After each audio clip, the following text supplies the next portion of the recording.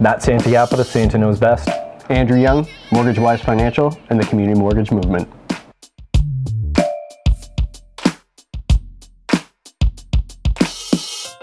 Today we're hanging out with my buddy Andrew Young from Mortgage Wise Financial.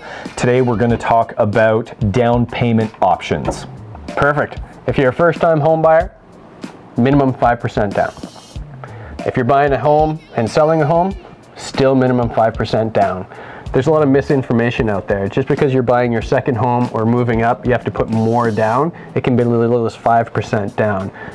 The only time that changes is when we get up to houses that are over 500,000. Okay. So, So that- how does that change then? Sure. On that, uh, the government, in its infinite wisdom, decided that people that are buying houses for more than half a million dollars need to put more money down to have more skin in the game. Okay, how much more money did it? So from zero to 500,000, 5% on that portion. Okay. Anything over the 500,000, you're looking at 10% of that portion. So for instance, if you're buying a house for $600,000, the minimum down payment you're going to have is 25,000 on the first 500, Mm-hmm. and then you're looking at 10,000 on the next 100. So you're looking at $35,000 down minimum for a $600,000 property. Interesting. Does it change at a like? What if I go out and buy a ten million dollar property?